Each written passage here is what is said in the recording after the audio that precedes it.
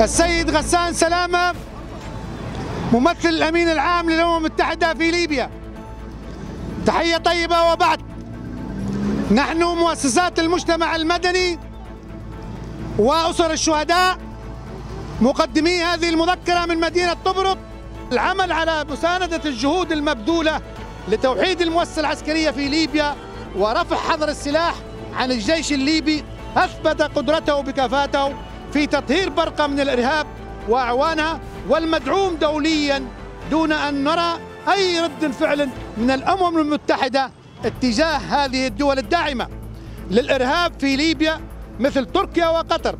ضرورة إفادة الأمم المتحدة بعهودها السابقة المتعلقة بتكفلها بجمع السلاح المنتشر بيد الميليشيات في الغرب للسير قدما نحو الديمقراطية على أساس صحيحة ومتينة.